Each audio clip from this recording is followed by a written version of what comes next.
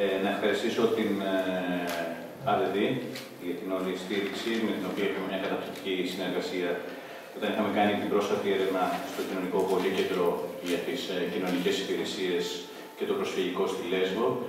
Ε, και αυτή η έρευνα, όπως και κάθε άλλη προηγούμενη έρευνα που έχουμε κάνει, είχα την ε, εντός εισαγωγικών χαρά να έχω κάνει έρευνα μέσα στην Παγανή το 2010 ε, πήγαν στράφη, όπως οι περισσότερες έρευνες τους πανεπιστημιακούς, ε, και θα είναι λίγο δύσκολο για μένα να μιλήσω αναστοχαστικά επιστημονικά όταν είσαι από τη Μητυλίνη και αυτή τη στιγμή έχεις βιώματα τα οποία δεν σε αφήνουν να κάνεις αυτόν τον αναστοχασμό, αλλά θα προσπαθήσω. Και όταν μιλάμε για βιώματα, μιλάμε να βλέπεις νεκρούς καθημερινά.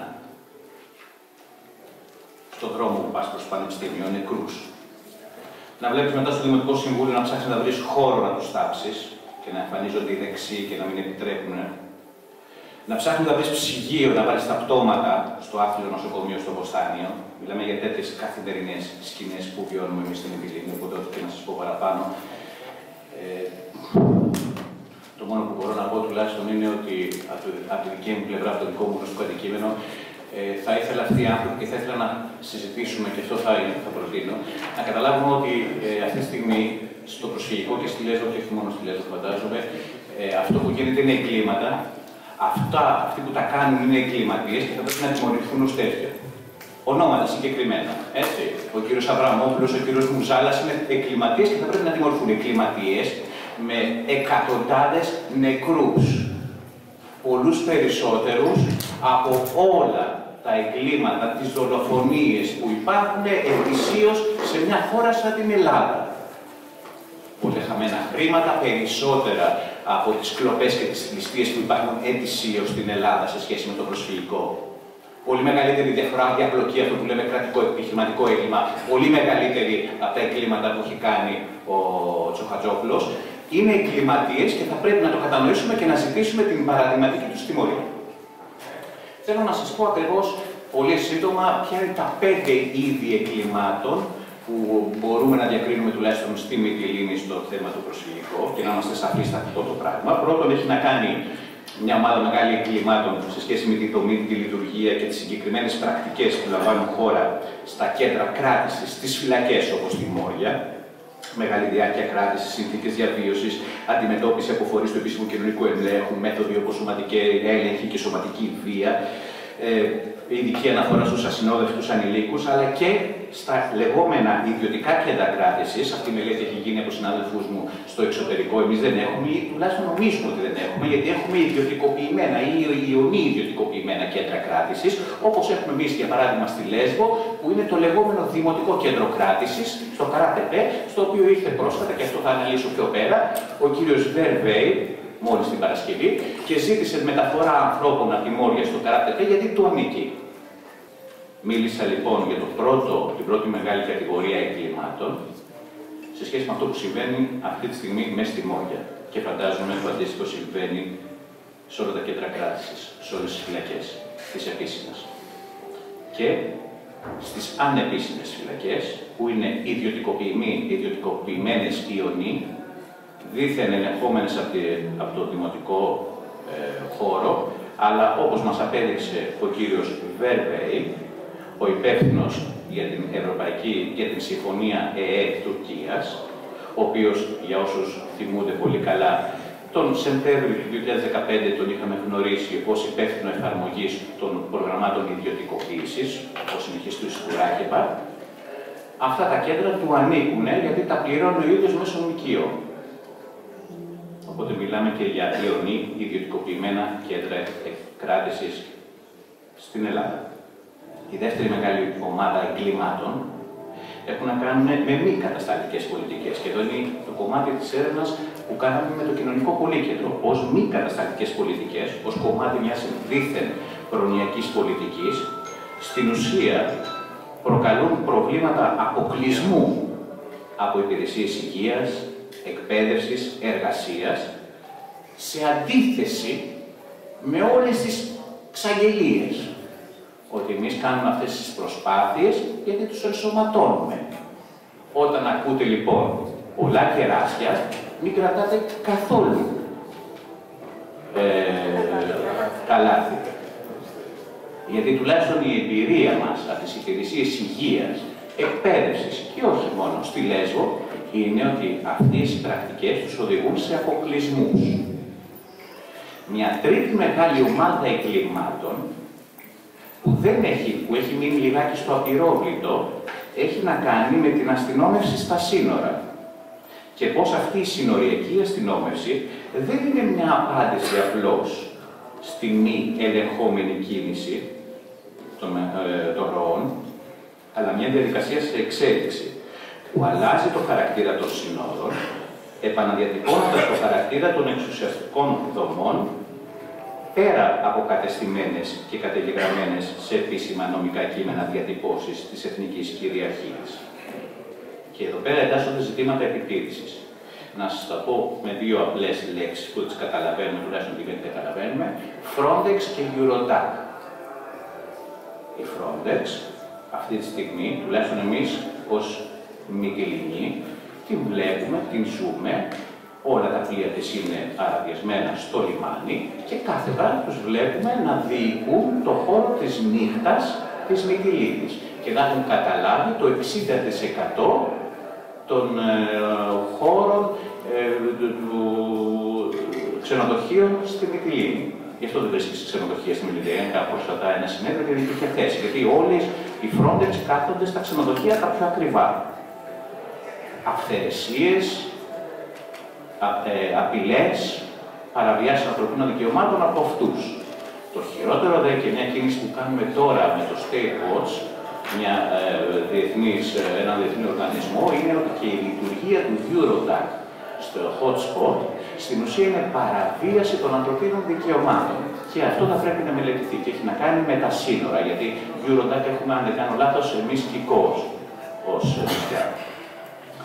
νησιά. Αυτές είναι οι τρεις μεγάλες κατηγορίες εγκλημάτων. Ε, πολύ γρήγορα θα πω ότι όλα αυτά τα πράγματα τα είχαμε βρει ε, ως πρωτόλια στην Παγανή, το μεγάλο άθλιο ε, γεγονός που στιγμάτισε την περιοχή μου, για να φανταστείτε σε σύγκριση το 2010 με το 2017 πόσο χειρότερα βρισκόμαστε τώρα. Και θυμάμαι πάρα πολύ έντονα, εδώ παρένθεση, όταν είχα παρουσιάσει την έρευνα στην Παγανή το 2010, άνθρωποι, και μάλιστα είχα αναφέρει κομμάτια, αποσπάσματα συνεντεύξεων από αστυνομικούς που λέγανε, να σας αναφέρω μερικά πράγματα, ε, όλοι αυτοί που έρχονται από την Ασία είναι παράσιτα, άλλος. Ε, ένας Μέγας Αλέξανδρος τους χρειάζεται να τους καθαρίσει όλους, είναι όλοι απολύτιστοι και βάρβαροι.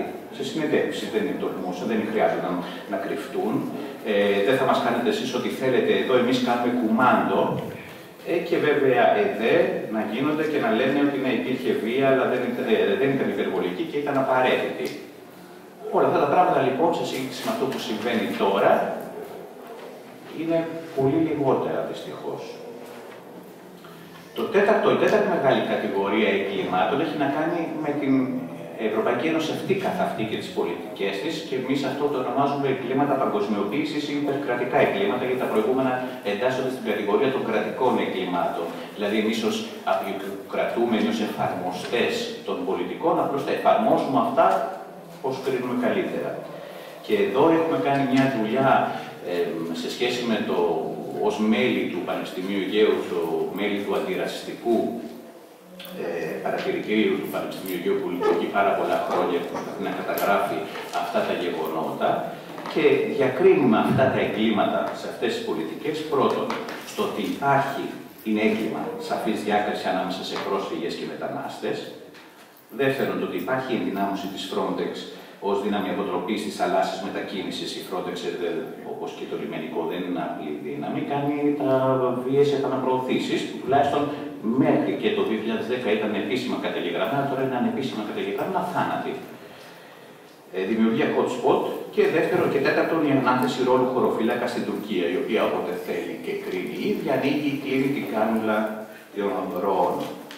Αλλά ειδικά ως προς το κομμάτι του διαχωρισμού, εδώ θα ήθελα να παραμείνω λιγάκι, γιατί θεωρούμε ότι είναι έγκλημα ο διαχωρισμός, γιατί τον έχουμε ακούσει πάρα πολύ έντονα, και ως ανεπόστατος Έχουμε βγάλει ένα κείμενο όντω αντιρατσιστικό παρατηρητήριο, γιατί στηρίζεται σε μια σύλληψη των γεωπολιτικών δεδομένων που ακολουθεί τι σύγχρονε εξελίξεις, στηρίζεται σε δεδομένα στη δεκαετία του 50 που ορίστηκαν διοικητικά και αναρωτιόμαστε πώς είναι δυνατόν να χαρακτηρίζονται και να υφίστανται μεταχείριση οικονομικών μεταναστών άνθρωποι που υπό το βάρος πολεμικών και τρομοκρατικών απειλών βιώνουν καθημερινά το φόβο δίωξης, της εξόδωσης, της λιμοκτονία ή απλά δεν υπάρχει στην περιοχή τους σχολείο για να βοηθηθούν τα παιδιά τους. Με ποια κριτήρια ένα άτομο αποδιωγμένο από το Αφγανιστάν ή το Ιράκ δεν είναι πρόσφυγας, αλλά αποτελεί οικονομικό αποδιωγμένο μετανάστη. Γιατί αυτές, αυτοί είναι οι ορισμοί που βγαίνουν μέσα από τις συνεντεύξεις. Ταυτόχρονα, και αυτό είναι καταγεγραμμένα σε στοιχεία της, ε, για παράδειγμα, μπορώ να πω, της διεθνούς αμνηστίας. Μιλάμε για 612 νεκρούς και χαμένους, για οροφίες επαναπροωθήσεις, για απάνθρωπες συνθήκες στα κέντρα κράτησης, όπου δεν υπάρχει ε, τέντες, δεν υπάρχει φαγητό, υπάρχουν άθλιες συνθήκες υγιεινής, ε, οι ασυνόδευτοι ανήλικοι συχνά κρατούνται μαζί με τους ενήλικες. Και βέβαια μια, ένα καινούριο πράγμα το οποίο βγαίνει στις τελευταίες έρευνες, ότι υπάρχει μια γραφειοκρατική πρακτική από τους υπαλλήλους, καταρχάς του ΕΑΣΟ και δεύτερον τους ε, κρατικούς, να παρεμποδίζονται οι διαδικασίες ε, ε, αιτήματος ε, ασύλου.